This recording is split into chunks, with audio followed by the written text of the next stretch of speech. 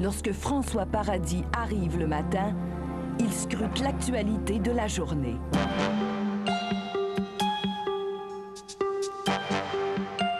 Il se concentre sur les grands dossiers et vise les points chauds. Toujours mieux vous informer, c'est l'objectif à atteindre.